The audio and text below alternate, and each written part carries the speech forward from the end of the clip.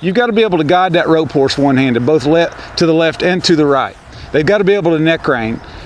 Your legs are a big part of that you know, especially for these younger horses. A young horse is not going to understand what the neck rein is very well without you using your leg to, to assist them. So get good at riding independent, your legs and your hands independent of your seat. Get good at all that stuff so that you can help your horse as much as possible, right?